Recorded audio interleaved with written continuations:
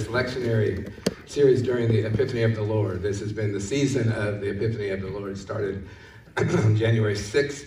Uh, this coming at Wednesday is Ash Wednesday, and at that point we'll start Lent. The Lenten season begins there, and so I invite you. Uh, it's in the bulletin somewhere. It's another announcement. There's an Ash Wednesday service.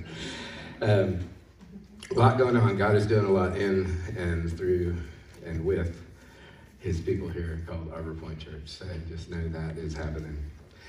Uh, so we're finishing up this series, and so the passage of scripture we're on today is out of 1 Corinthians chapter 3, and if you will join with me. Brothers and sisters, I could not address you as people who live by the Spirit, but as people who are still worldly, mere infants in Christ. I gave you milk, not solid food, for you were not yet ready for it. Indeed, you're still not ready. You are still worldly, for since there is jealousy and quarreling among you, are you not worldly? Are you not acting like mere humans? For when one says, I follow Paul, and another, I follow Apollos, are you not mere human beings? What, after all, is Apollos? And what is Paul? Only servants through whom you came to believe, as the Lord has assigned to each his task. I planted the seed, Apollos watered it, but God has been making it grow. So neither the one who plants nor the one who waters is anything, but only God who makes things grow. The one who plants and the one who waters have one purpose, and they will each be rewarded according to their own labor. For we are co workers in God's service. You are God's field, God's building. Paul makes a shift in our text for this week there towards the end. He's all about growing things. He's talking about babies and milk and solid food. And then he moves into fields and planting and water, watering. Then at the very end, at the very end, he talks about building, that, that you are God's field and then God's building. And it seems odd until you go on reading, which we're actually going to do a little bit later in the message. Verse 9 is what's called a metaphor hinge or a pivot. It's the point at which he transitions. He swings from one idea to another. And it's a great technique because it keeps you from getting too bored because I'm talking about one thing and then you start to drift and then, oh, I'm talking about something new. And then it hinges into a new place. It works very well when there's at least one common element. And Paul's, one of the common, there's several, but one of that he emphasizes in this passage is that, that this thing that we're talking about, this, this following of Jesus, is labor intensive, that it's going to take work on our part. It's not just an osmosis kind of thing we say yes, and the Holy Spirit comes and, and dwells in us, but then there's a there is a movement in our heart that, that pushes us towards action and doing things a little bit differently. And they, they built or they grew, but then they developed along the way. And the starting place for them was not the ending place, it's not for us either. The originating state was, not where things ended up. And however you want to describe it, Paul is stressing to them that there's more to come. There's more on the horizon when, when you follow him. And he wants you to grow. He wanted them to grow. He wants you to grow. He wants me to grow. He wants all of us to grow. The church in Corinth, but he wants Arbor Point Church to grow. You know, God had uses Paul to speak to us, so that's why he's writing it's kind of like there's finally a pastoral letter out there, you know, because he, he, says, "Stop acting like children. It's time to grow up. Stop acting like kids. It's not me, me, me. Let's let's let's get into what Jesus is calling us to do and to be." Paul goes back to the beginnings. Remember when he first arrived, and there was so much he wanted to say, but he couldn't because they were infants in Christ. So he met them where they were, which is what we're supposed to do: meet people where they are feeding them milk, excuse me, the ABCs of the faith, knowing that as they continue to seek God, there would be progress, there would be growth, things would get deeper in their lives. There would be substantial matters would come on, come up and, and come on. But even now, he argues, they're still not yet ready because they're acting like children. They're quarreling, they're being jealous. And here's a good description of what Paul means when he speaks of being in the flesh. See, it isn't necessarily about a specific type of sin or a specific sin. He lists those and he talks about those. But what he's talking about is anything that, that, that hinders the growth or faith of the individual or the community is sin. What gets between us and our relationship with God is sinful because it pulls us away from what he would have us to be and, have, and who he would have us to be. And these selfish behaviors, even when we do them for supposed good reasons, are of the flesh because they come against the common heart and body, uh, uh, heart and mind of the body of Christ. That is us. So he's saying, hey, grow up. It's time. It's time. You've been an adolescent long enough. There's maturities on the horizon. Step into who you've been called to be. So he turns back to what he saw as a dividing issue, right? This allegiance thing. Started out with it, he's back to it. Would it be fair to say that, that his response is basically, we ain't got time for that? Because we don't have time for it. We don't have time for the division and the quarreling. And look, I know where our church is, and I know what we're looking at. I know that we're looking at division. But we, when it comes to spreading the gospel and spreading the good news of Jesus Christ, we ain't got time to be fighting with each other. And it's Satan's greatest tool is to turn us against each other. Because now, if I'm focused on you and you're focused on me, where aren't we focused? We're not focused on God. We're not focused on the people who don't know Him. We're not focused on sharing the gospel. We're focused on selfish things. And Paul's saying, it's time to grow up. We ain't got time. You know, I know it's been thousands of years since he came, but he's coming back. And we don't have, we don't have unlimited time. There is, there is an urgency to our calling that we often forget. And when the day comes, we're going to go, oh no, I thought I had more time. So we don't share the gospel and we don't share the love of Christ and we fight with each other and we do all the things that Paul is talking about and it prevents us from becoming who God has created us to be. Pulls us out of the mission field. We talked about the mission. We ain't got to, we ain't got time for that, right? We ought to put that on the wall. We ain't got time for that. You know? What do we have time for? We got time for sharing, telling people about Jesus. Share what you have seen, heard, and experienced of our God. All we have to share is Christ and Him crucified. You don't have to have all the biblical knowledge. We, you know, you probably have a voice in your head that says, I don't know enough. That's a lie. Share what you have seen, heard, and experienced of God. It's what Paul did when he, that's what he's talking about when he said, All I have to share with you. Had all the knowledge, but that's not what his point was. His point was, I have to share with you is Jesus and Him crucified. And we have that. We get to share that. There are those who would argue that Paul is all about grace, grace and not works, right? And his, his theological center is certainly this passage where it is by grace you're saved through faith, and this is not from yourselves, it's not of works, so that nobody can boast. That's his theological center. But this is also the guy who wrote Galatians 5, 22 and 23, right? You know what that is? Somebody tell me. Somebody knows. Fruit of the Spirit, right? Fruit of the Spirit is not a coconut. Fruit of the Spirit is not a coconut. If you want to be a coconut, you might as well hear it. You can't be a fruit of the Spirit because the fruit is love, joy, peace, patience, kindness, goodness, faithfulness, gentleness, and self control. Right? Yes. Come on now, I got that right.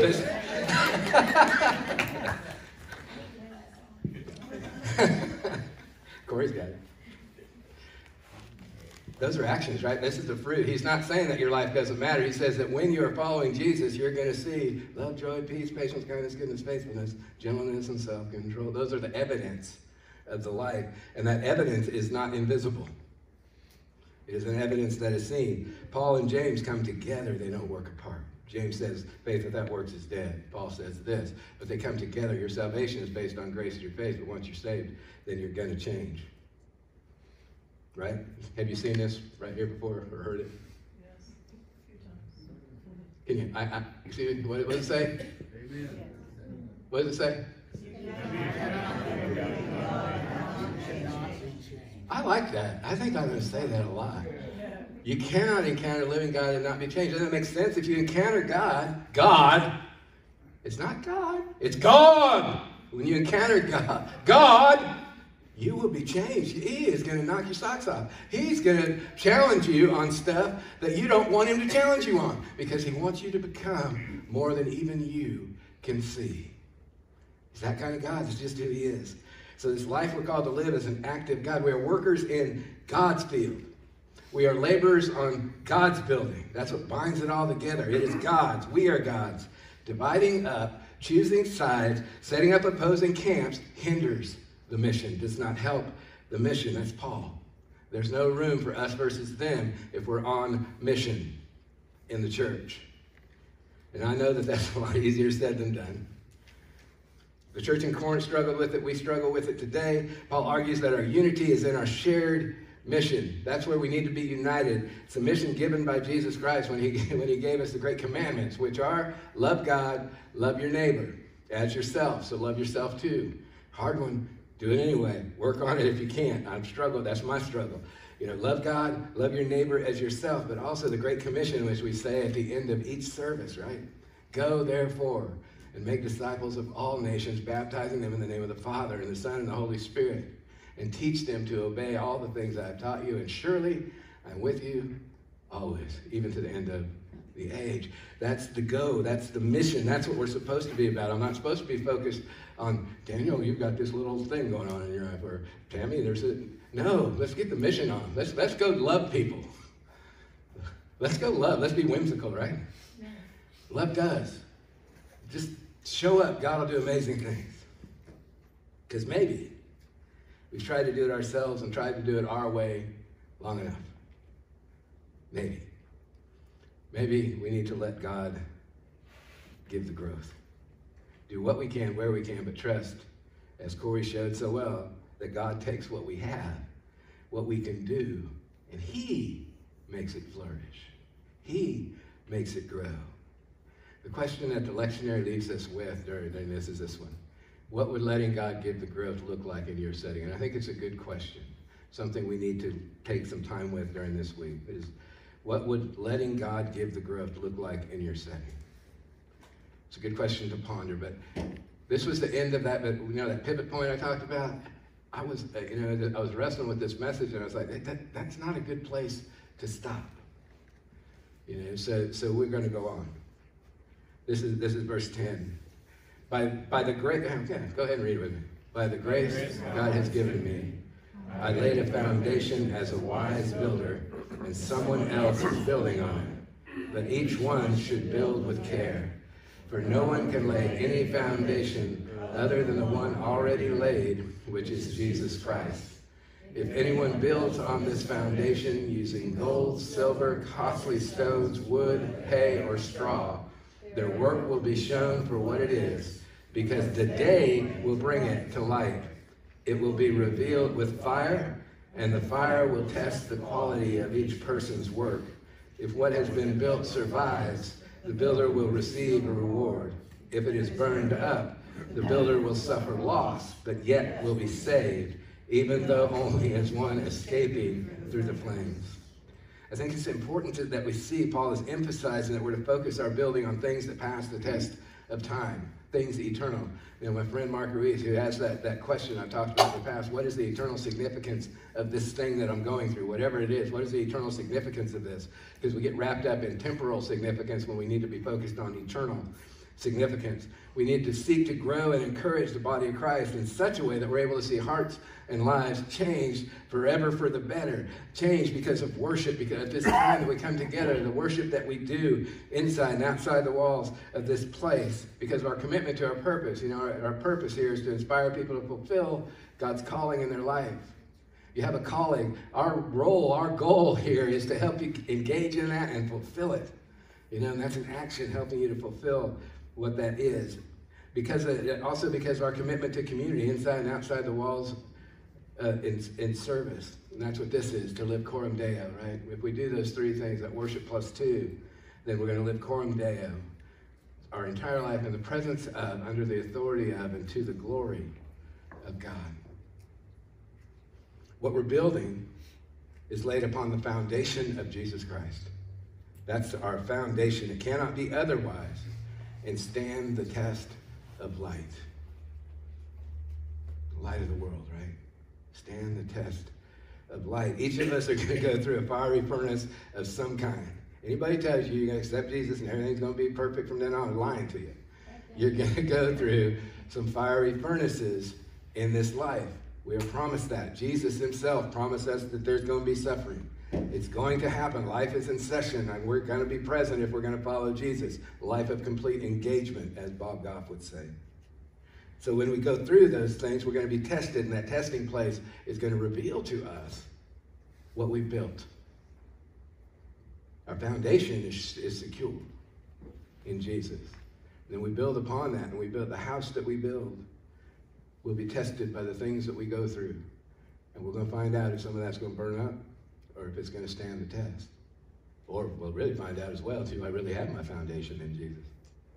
It's going to, it's going to bring all that to bear. The good news, though, is this as our passage continues. Join me. Don't you know that you yourselves are God's temple and that God's Spirit dwells in your midst? If anyone destroys God's temple, God will destroy that person. For God's temple is sacred, and you together are that temple. Hang on just a second. So I want you to get, who is God's temple? Okay, repeat that last part. For God's temple. For God's temple is sacred, and you together are that temple. What does that make you? Sacred. This world's going to try and rob you of that. Don't. You are children of God, sons and daughters of the King. You are sacred. That settle.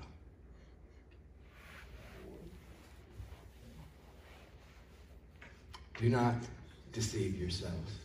If any of you think that you are wise by the standards of this age, you should become fools so that you may become wise. For the wisdom of this world is foolishness in God's sight. As it is written, He catches the wise in their craftiness. And again, the Lord knows that the thoughts of the wise are futile. So then, no more boasting about human leaders. All things are yours, whether Paul or Apollos or Cephas or the world or life or death or the present or the future. All are yours. And you are of Christ, and Christ is of God. We are God's temple when we say yes to Him. And even if we messed up on our carpentry or the masonry on the building of the house, the foundation is secure. It's in Christ. The building, we're going to mess up some, point sometimes. We're going to put a, an unsquare corner in. We may break a window. We may do all kinds of stuff as we build on this. But we get second chances. We get third chances. We get fourth chances. You know what else we get? Fifth chances. And sixth chance. It's never ending. You get more chances. Keep your eye on the cross and on Jesus and keep building. Even when it if it gets razed to the ground, if the building that we built it gets razed to the ground, you get to rebuild it. You get to rebuild it. And when we the temple is focused on God's glory and not our own, we are in the right direction. When we build under the authority, in the presence of, to the glory of God, we are building correctly. And hear this it may not look like what the world would call beautiful, and it may not look like what the world would call lovely, but in God's eyes, it will be beautiful and it will be lovely. And this admonishment at the end is important. So that no more boasting about human leaders. All things are yours, whether Paul or Apollos or Cephas or the world or life or death or the present or the future. All are yours. And you are, are of Christ, and Christ is of God. Amen. And I think there are wonderful teachers in each age, men and women who we look, can look to for spiritual wisdom. It's from Peter and Paul to Augustine and Aquinas and John and Charles Wesley and John Calvin and George Whitefield and Mother Teresa and Origen and Billy Graham and Andy Stanley, Beth Moore, Francis Chan, so many more. You could go on and on. There's teachers that, that are gifted to us in this age. And it's easy to become a disciple of fill in the blank teacher. It's easy to do that. And we forget that each of them, you know what they're here for? Is to help us in our journey. They're to provide help as we seek to draw closer to God through Christ by the power of the Holy Spirit. All things are yours, regardless of your teacher, regardless of life or death or time, all are yours, and you are of Christ, and Christ is of God. I found this, John Piper wrote this. I'm not a huge fan of John Piper, but I, am a fan of what he wrote here. This is a graduation uh, text that he gave to the Bethlehem College that takes from this passage. He says it very well. He says this He says, Paul is yours, your father in the faith, the one who betrothed you to Christ, the, the one who suffers countless hardships to build you up, the most prominent apostle outside Israel, the writer of Scripture. You are not his, He is yours. We are not of Paul. We are of Christ.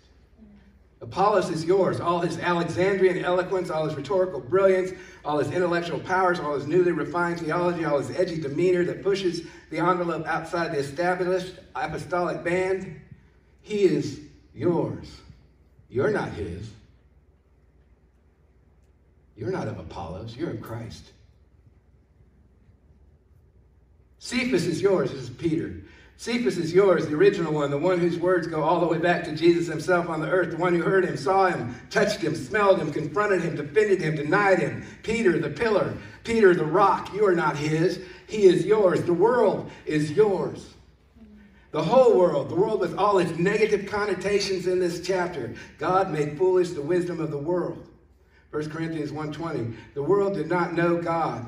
121. We did not receive the spirit of the world this world, this whole natural, sinful, broken, painful, beautiful, horrible, hopeful world is yours, not just a part of it. All things. You are not the victims of the world. It is not your master, it is your servant. From the most beneficial beauties to the most malignant cancers. From the most beneficial beauties to the most malignant cancers. It is yours. Everything in it, everything that happens on it, is working together for your greatest and longest good, for God works all things to the good. All things for those who are called according to his purpose. It's upside down, this is God, I know. Things I think are bad are often good for me, and things I think are good are bad for me. Life is yours every breath you take, every beat of your heart, every day you face, every night you sleep, every movement you make, every word, every deed, every relationship, every accomplishment, every plan, failed or successful. Every emotion that rises, every thought that passes, every book read, every line tweeted, every text sent, every conversation, every gift given, every sin committed. All of it, all your life is yours. You don't belong to it. It belongs to you. And great that our God works all things for good. Amen. Death is yours. O death, where is your sting? It's on Golgotha's empty cross. Death, where is your victory? It's on the empty grave outside Jerusalem. Death doesn't win. Then what are you, death? Death is your servant, serving you while you live to make you wise and serious and fruitful and hopefully give you a sense of urgency that you ain't got forever here, so get after it. That was my part, sorry. death will serve you when you die to bring you home to Jesus. You don't belong to death. Death belongs to you. The present is yours. All things are yours now. Every moment of your life is yours. Every moment is your servant. Every moment is a stroke of the divine brush on the canvas of the final masterpiece called you. Every moment. The sad moments, the happy moments, the fearful moments, the bold moments, the lonely moments, the grieving moments, the ecstatic moments, the sleeping moments, all the moments, the present is yours. You are not the slave of time or chance or any sequence of events. They are yours. They serve you. What are you going to do with them? Oh, I did it again. He didn't say that. But I ask you, what are you going to do with them? These moments that are God's emissaries to bring you to glory. Finally, the future is yours. Nothing will come to you in the future. The future 10 seconds from now, 10 days, 10 months, 10 years, 10, 10, centuries, 10 millennia, 10 ages of millennia, nothing will come to you that is not your servant. You don't belong to the future. The future belongs to you because you are Christ.